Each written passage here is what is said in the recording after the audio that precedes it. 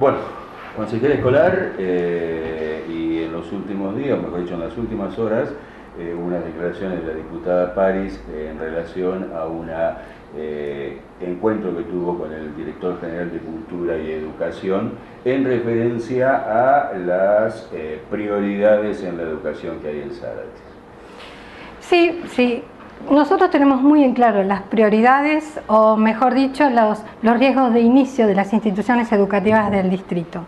De hecho, hubo una reunión de UEGD donde participamos los consejeros, inspectores, gremios y las prioridades las tenemos muy en claro, muy en claro y estamos trabajando. Abocados hace 20 días que tomamos el cargo y abocados puntualmente a dichas prioridades, a, la que ella, a las que ella nombra, podemos ir detallando con mis compañeros qué es lo que estamos haciendo, estamos trabajando en todas y estamos trabajando. Yo querría preguntarle, eh, parece que tienen claro algunas prioridades, porque lo que nombra no son todas prioridades, y se está trabajando que nos informa, como también avisarle que tiene las puertas del Consejo Escolar abiertas para que nosotros le ayudemos y ver de manera conjunta, primero que escuche qué estamos haciendo. Eh, puntualmente ella eh, se refiere, por ejemplo, a eh, una situación de riesgo edilicio en el Jardín de Infantes 904 y en la secundaria número 2 que podrían poner en peligro el inicio de las clases. Es real, es real. Los riesgos de inicio son situaciones que indican que esas escuelas podrían llegar a no comenzar las clases. De hecho, se está armando el legajo para comenzar las obras en el mes de enero, calculamos. Eh, lo antes posible que se termine el legajo técnico, comenzar las obras en ambos edificios eh, para solucionarlo. ¿Cuáles son, más o menos, cuáles son los, problemas más importantes que tienen esos dos establecimientos? El problema más importante es filtración de agua. Son es un edificio muy viejo. El de la escuela media es un edificio, además es un edificio histórico que no es fácil arreglar, no es fácil solucionar, es muy costoso, es antiquísimo y es un problema de agua que baja hacia el jardín. Eh, también se refiere a con una situación muy similar a la escuela número 9 y a la 32 de la isla Botija. Eh, la, escuela 32 se refiere puntualmente eh, al, mm, al, muelle, que está solucionado, el muelle está solucionado, no hay inconveniente, el muelle está arreglado. La escuela 9 nosotros visitamos Lima, visitamos escuelas de Lima, jardines, y la escuela 9 se trabajó, se trabajó muchísimo y, bueno, hay, un, hay una cuestión de arreglar en el patio, en el techo del tinglado, que veremos cómo se arregla, pero no es un riesgo de inicio, para nada, no es un riesgo de inicio.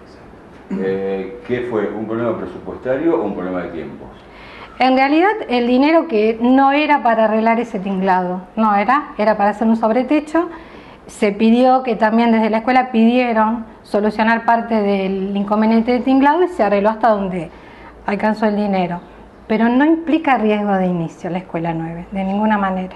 Ella hace hincapié, bueno, algo que todos conocemos por ahí, por eh, el crecimiento demográfico que ha tenido Zárate, que es la falta de, aulas en distintas escuelas del distrito.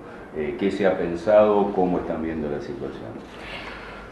Con respecto a riesgo de inicio, la única institución que tiene eh, falta de aulas es secundaria 16, que mis compañeros pueden comentarlo y hablarlo si quieren, eh, ya está también en marcha, ya está, se está solucionando, eh, ya se hizo visita de obra, es la única escuela que tiene riesgo de inicio por faltante de aulas. En el resto no hay faltantes que impliquen que por eso no comiencen las clases. O sea que hoy por hoy el ciclo lectivo eh, teóricamente en marzo eh, no sufriría ningún tipo de trastorno o ningún tipo de demora. No, no, no, porque lo, eh, lo, más, lo que nos queda a nosotros para solucionar en el mes de enero es Jardín de Infantes y la Escuela Media número 2, Jardín de Infantes 904, que el legajo técnico se está terminando para empezar a trabajar. Ustedes como parte importante del Consejo Escolar, eh, ¿qué piensan de, toda esta posición de la diputada Párez? Nosotros pensamos, eh, claro, que para hablar uno tiene que tener fundamentos. 20 días que estamos trabajando y tenemos claro, diputada París, cuáles son los riesgos de inicio, los tenemos claro. y bueno, habla, eh, evidentemente sabe ella también cuáles son los riesgos de inicio, yo quiero saber qué es lo que ella va a hacer, qué va a aportar con nosotros para, estas, para solucionar estas cuestiones. Nosotros estamos aportando, trabajando en conjunto con el municipio, en conjunto con arquitectos,